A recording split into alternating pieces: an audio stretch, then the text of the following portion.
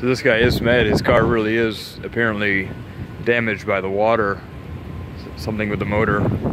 It looks like the water was way up to the windows, but I doubt it. It's going down fast now with that manhole uncovered. Just like the tide brings it into the drains. When the tide goes down, it goes out through the drains. Hardcore.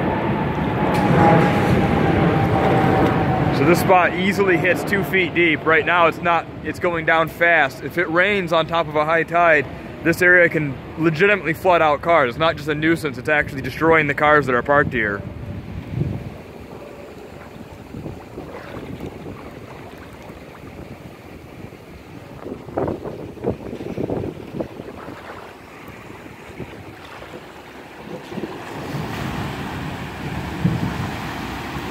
And when the cars drive by like that, it makes huge waves. Sometimes these cars will actually float here on the curb. That could have been what happened with this car.